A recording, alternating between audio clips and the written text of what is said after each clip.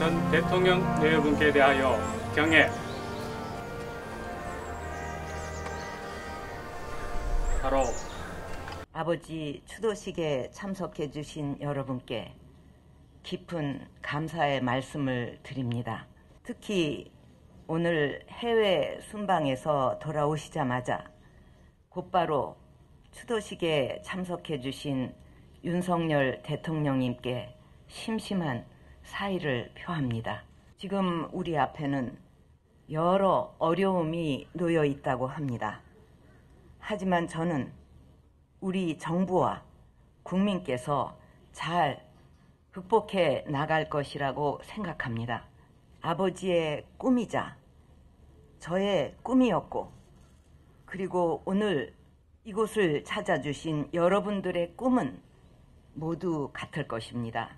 우리 대한민국 국민이 서로에 대한 이해와 존중으로 힘을 모아 미래 세대가 번영과 행복을 누리는 그, 그것입니다. 아버지도 우리의 꿈이 이루어질 수 있도록 응원하고 지켜주실 것이라고 믿습니다.